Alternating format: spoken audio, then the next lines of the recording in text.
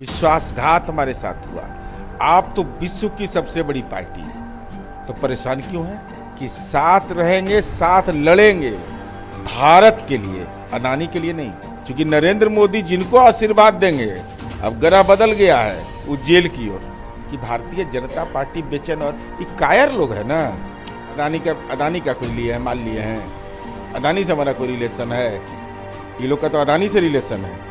कुछ दे ही नहीं रहा है तो बेचारे पगड़ी बाँध लिए हैं। गांधी टोपी पहनने में लाज लगेगा। विपक्षी एकता को लेकर के मुख्यमंत्री नीतीश कुमार दोबारा दिल्ली पहुँचे थे और कई बड़े नेताओं से मुलाकात की थी। लेकिन इस दौरान भारतीय जनता पार्टी ने मुख्यमंत्री नीतीश कुमार और विपक्षी एकता को लेकर के मज़ाक बनाया और कहा कि ये लोग किन किन को प्रधानमंत्री का उम्मीदवार बनाएँगे, ये तो तय नहीं हो पा रहा है। गिरिराज सिंह ने भी हमला किया, जो बीजेपी के प्रदेश अध्यक्ष हैं, वो भी हमला करते नज़र आए। हमारे साथ जनता दल यूनाइटेड के प्रवक्ता नीरज जी नीरज जी वो ये कह रहे हैं कि कुर्सी तो बीच में है, बैठेगा कौन इस पर यही तय नहीं हो रहा है। तो परेशान क्यों है? कुर्सी का तो परमानेंट पेटेंट आप ही ले लिए हैं कि हमारा ही कुर्सी 2024 में आरक्षित है। तो माननीय नीतीश कुमार जी की पार्टी तो मात्र 45 एम की पार्टी। विश्वासघात हमारे साथ हुआ। आप तो विश्व की सबसे बड़ी पार्टी। तो परेशान क्यों है? अरे विपक्षी एकता के लिए सकारात्मक नतीजे निकल रहा है राहुल गांधी जी ने ट्वीट किया कि साथ रहेंगे, साथ लड़ेंगे, भारत के लिए अदानी के लिए नहीं, भारत के लिए। तो ये जो समर्पण और संकल्प का जो भाव देश के लिए और देश के, और देश के आम आवाम के लिए है, इससे भाजपा परेशान हो गई है। तो भाजपा परेशान क्यों है भाई? आप तो विश्व की सबसे बड़ी पार्टी है और आपके नेता का असर तो सात समुंदर दूर था। अमेरिका के राष्ट्रपति डोनाल्ड ट्रंप को आप जिता रहे थे सत्रह में। अगली बार ट्रंप सरकार। अब अब क्या होगा मोदी जी? आपका आशीर्वाद ऐसा लगा उनको कि सत्ता से तो च्युत हो ही गए, अब बेचारे जेल के अंदर हैं। तो उसका बेलर कौन बनेगा बीजेपी का? कौन नेता बनेगा बेलर? क्योंकि नरेंद्र मोदी जिनको आशीर्वाद देंगे, अब ग्रह बदल गया है, वो जेल की ओर। जब अमेरिका में जेल जा सकता है तो 2024 के चुनाव के बाद जितना भ्रष्टाचार के साइलेंट करप्शन किया है, उसके परत दर परत खुलने वाले हैं। डोनाल्ड ट्रंप को ही जिता रहे थे तो वो तो जेल पहुँच गया, वो भी कितने घिनौने आरोप में पहुँचा है। किस व्यक्ति का प्रचार कर रहे थे? ये कैसा दुनिया के अंदर अब विश्वगुरु बनाना चाहते हैं, जिस पर पॉर्न साइट के व्यवसायिक इस्तेमाल के बिज़नेस में का आरोप लगा हो, वैसे लोग आपके प्रेरणा स्रोत बन जाते हैं। अमेरिका में जाके कह रहे थे, अगली बार ट्रंप सरकार तो इस बार इस बार क्या होगा? आपका आशीर्वाद ऐसा लगा कि वो अमेरिका के जेल में करा रहे हैं। अब इंटरनेशनल कोर्ट ऑफ़ जस्टिस में कब जाइएगा नरेंद्र मोदी जी? कब उनका बेलर बनिएगा? क्योंकि आप तो विश्वगुरु हैं। अब विश्वगुरु में ऐसा ही चेला सब आप पैदा करते जो सच का सच, इसलिए हम यह जानना चाहते हैं कि भारतीय जनता पार्टी बेचैन और ये कायर लोग है ना? देखे नहीं भारतीय जनता पार्टी का स्थापना दिवस के दिन उनके प्रदेश अध्यक्ष ने कहा कि हम दीवार पर कमल का फूल निशान बनाएँगे। हमारे कार्यकर्ता पूरे बिहार में बनाएँगे। एक आवेदन खाली दे दिए पटना के डीएम को कि 2007 के नगरपालिका अधिनियम में कोई भी व्यक्ति पर्सनल प्रॉपर्टी पर नहीं बना सकता है। डर से कमले का फूल नहीं बना रहा है। ये बताइए तो। ये कितना भारी डरपोक है। और कहता क्या है कि बिहार में कानून व्यवस्था फेल है। हम जानना चाहते हैं। अमित शाह जी आए थे बिहार, और वाई कैटेगरी दस नेताओं को मिला था बीजेपी के। संजय सरावगी, दिलीप जायसवाल, बहुत सारे लोग, संजीव चौरसिया से लेकर बहुत सारे लोग वाई कैटेगरी क्यों वापस कर दिया? क्यों वापस किया? अभी लोग का कितना हवा बिगड़ गया है?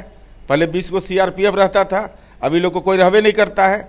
इस सब का क्षेत्र में हल्का हो गया है, कि नेताजी का कोई वजने नहीं है। इनको सिपाही उपाही है नहीं बहुत सारा। तो कानून व्यवस्था दुरुस्त है, इस बात की पुष्टि होती है कि केंद्र सरकार के द्वारा दिए गए वाई कैटेगरी को केंद्र सरकार ने समाप्त कर दिया।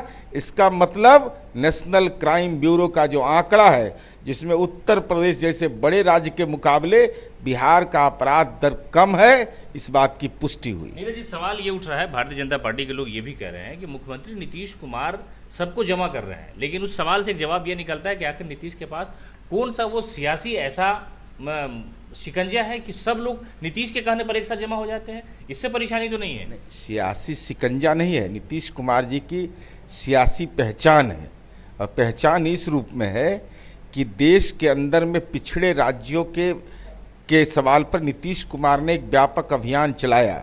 चाहे वह बिहार, झारखंड का सवाल हो, बंगाल का सवाल हो, उड़ीसा का सवाल हो, उत्तर प्रदेश का सवाल हो, कि देश के अंदर असमान विकास हो रहा है। दूसरा सवाल माननीय नीतीश कुमार जी ने तार्किक रूप से उठाया कि भाई देश के संघीय ढांचे पर लगातार अपमान हो रहा है। माननीय नीतीश कुमार जी की तर्क शक्ति के बदौलत उनका व्यक्तित्व भारी पड़ता है। जब व्यक्तित्व भारी पड़ता है तो भाजपा कराहने लगती है। भाई भाजपा क्यों बेचैन है आखिर? नीतीश कुमार तो एक व्यक्ति हैं, पैंतालीस एम एल की पार्टी, आप बारह, चौदह, पंद्रह राज्य में करके सरकार देश के अंदर बनाए हुए हैं तो आप परेशान क्यों हो जाते? आपने देखा होगा कि जब महागठबंधन बिहार में बना था तो आदरणीय नरेंद्र मोदी ने केरल में जाके करा रहे थे, बिहार के चर्चा कर रहे थे। केरल में जाके। तो नीतीश कुमार का असर कितना है केरल तक के गुंज उसका सुनाई पड़ता है। अमित शाह जी चित्कारे कर रहे हैं लगातार। कभी पूर्णिया में आके कभी हिसुआ में आकर के सासाना में बेचारे डर से गए नहीं ये तो अलग मसला है। इसलिए माननीय नीतीश कुमार जी ने एक सकारात्मक पहल ली है और उसके सकारात्मक नतीजे निकले प्रधानमंत्री भी आपके मुख्यमंत्री की तारीफ़ कर चुके हैं मन की बात में गठबंधन टूटने से पहले कि समाजवाद का सबसे बड़ा नेता है। तो वो लालू यादव पर हमला कर रहे हैं। प्रधानमंत्री केरल में हमला किया मुख्यमंत्री पर हमला नहीं कर रहे हैं। क्या हमला करेंगे? हम अदानी का अदानी का कुछ लिए हैं, माल लिए हैं? अदानी से हमारा कोई रिलेशन है? ये लोग का तो अदानी से रिलेशन है। ज्वाइंट पार्लियामेंट्री कमेटी नहीं बना रहा है। नीतीश कुमार का व्यक्तित्व ऐसा है कि उस दामन पर कोई दाग ही नहीं है। नीतीश कुमार को राजधर्म का पालन करने की नसीहत दी गई। नीतीश कुमार पर भ्रष्टाचार का आरोप है। नीतीश कुमार पर कौन सा ऐसा आरोप है? समाज के अंदर कटुता फैलाने का आदे है कि समाज के अंदर प्रेम और मोहब्बत के बदौलत विकास का मॉडल नीतीश कुमार से तो देश सीख रहा है भाई। सत्रह योजनाएँ हैं जो नीतीश कुमार ने चलाया केंद्र सरकार ने उसको लागू किया। ये हम हम फॉलोअर थोड़े हैं हम लीडर हैं। तो लीडर है बिहार नीतीश कुमार लीडर है ये सब तो फॉलोअर है हम लोग का।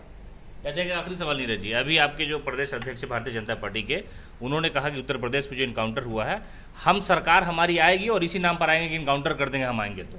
अंबेडकर मॉडल नहीं। जोगी मॉडल। तो भारतीय जनता पार्टी बताए कि कछनार के विधायक भारतीय जनता पार्टी के परसों महिला का अपमान करने का मामला आया। और ये मामले पर बुलडोजर कब चलेगा बाबा? गड़ुआ वस्त्र धारण किए हुए था। गड़ुआ वस्त्रधारी है, भाजपा का विधायक है। कब उस पर बुलडोजर चलाइएगा? कब? आप आपके सांसद पर यौन शोषण का आरोप लगा। क्यों नहीं उस पर बुलडोजर चला? उत्तर प्रदेश में जब किसान आंदोलन हो रहा था, केंद्रीय राज, गृह राज्य मंत्री का बेटा किसानों को रौंद रहा था, तब ब्रेक फेल कर गया कि डीजले नहीं था। और ये कैसा गवर्नेंस है? और ये भारतीय जनता पार्टी के प्रदेश अध्यक्ष बोलते हैं खैर ये तो बेचारे अपने पिता के सपने को पूरा करने में लगे हुए हमारे खास आदमी हैं। तो बोले तो प्रधानमंत्री को गाड़ देंगे अरे नहीं नहीं अरे सम्राट चौधरी जी हमारे एकदम खास आदमी हैं। हम ही लोग राजनीति में उनका उद्घाटन सत्र को संबोधित करवाए। उनको विधायक बनाया मंत्री बनाया हम लोगों ने वहाँ भेजा है। इन, अच्छा कोई भी पुत्र होता है अपने पिता के सपना को पूरा करता है। उनके पिता ने सपना लिया है कि हम नरेंद्र मोदी की राजनीति को गढ़ देंगे। तो गढ़ देने में तो पिता पुत्र सहायक होगा ना? नहीं बोलेंगे तो वहाँ सीआर कैसे ठीक होगा? वहाँ सीआर ठीक होना चाहिए। वाई कैटेगरी सब कुछ दे नहीं रहा है। कुछ दे ही नहीं रहा है तो बेचारे ये पगड़ी बाँध लिए हैं। गांधी टोपी पहनने में लाज लगेगा। इनके पिताजी को भी हम ही लोग एमपी बनाए थे। तो जो जो बनाता है उसके प्रति आदमी कर्जदार रहता है।